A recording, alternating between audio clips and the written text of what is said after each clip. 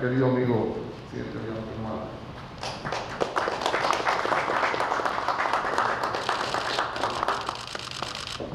En estos momentos, el excelentísimo señor Ricardo Martinelli, presidente de la República de Panamá, procede a imponer la condecoración nacional de la Orden Manuel Amador Guerrero en el grado de collar al excelentísimo señor Ollanta Moisés Humalacazo, presidente de la República del Perú.